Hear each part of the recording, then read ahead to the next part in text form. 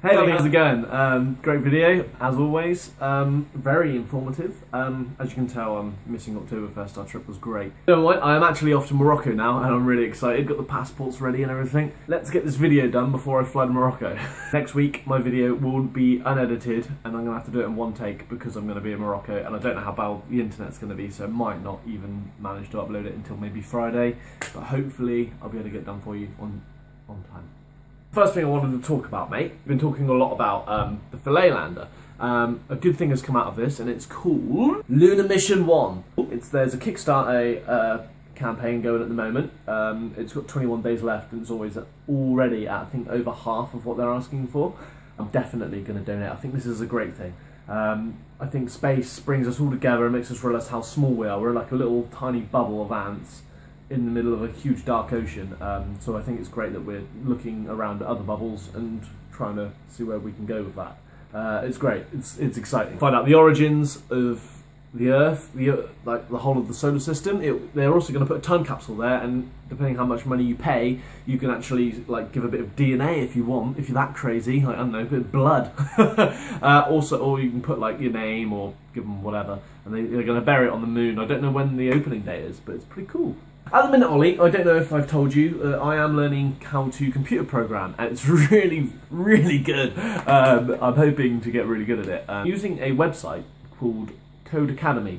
Now, check it out. I'll link it in the description. I think it's worth um, learning, especially as you work for a software company. It's really good. At the minute, I'm just doing HTTP and a bit of uh, CSS, and that's just how to like display web pages and how the layout is and everything. But it's very good, and very simple way of walking you through. But it brings me to my next story, Ollie. I don't know if you've heard of um, SQL. Now, I personally haven't learnt it yet, um, but there's going to be a huge error with it. Going to be like Y2K, everything's going to crash, and this is going to happen in 2079. Don't worry, um, most things will have been upgraded by then, and the only machines running it will pretty much be in museums. But this is also going to happen in 2038 um, with all pro programs running C. Um, what that is is basically there's an issue. It's both very similar, but just in different languages. They've run out of ways of um, expressing the date or something like that.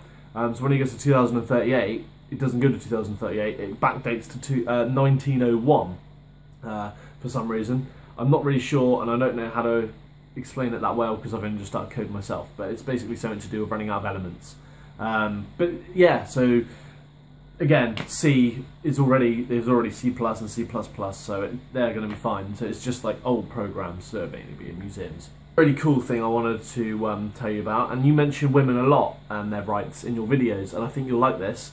Is Ched Evans is a guy who played for Sheffield Wednesday, um, I believe the football team, and um, he went to jail for two years for raping a woman uh, he came out and Sheffield Wednesday told him that, they, that, he could train with them again. Now, the power of the people got together, a petition was brought out. I signed it. I don't know if you signed it, um, but I signed it, and I love these petitions. And basically, they said, no, he's just training with us at the moment, and then we'll see how he goes. Because I think they were going to sign him again.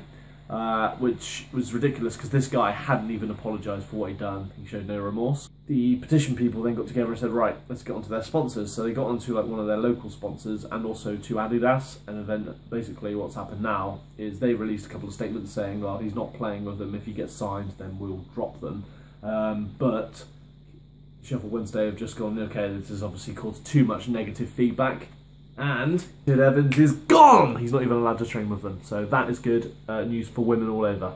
Is that you can't get away with rape um, and then just carry on with your glamorous football life. It's brilliant. The last thing I want to talk about, Ollie, is there's a thing, a Japanese company that are making an underwater city, or plan to anyway. I think it's like something like 2024. Uh, I'll post a link in the description. There's like plans and stuff. It's all very futuristic. This is the same company that wants to also do a solar panel ring around the moon. They're all very futuristic things, but they're very rich. So I think it's a good thing that someone with lots of money is actually using it uh, to do good things rather than Walmart, as you say. So good luck to the workers there. That's everything, Ollie. I've got to rush it today because um, I've got to edit it and then I'm flying. Well, not flying, but going to fly. so yeah, great one, I'll see you Saturday, and like I say, hopefully next Wednesday I'll have a video for you. Um, I will have a video for you. Um, I'll find a way. If it, it might be terrible though, um, so bear with me. See you later, mate. That's everything worth knowing. Stay positive and spread the love.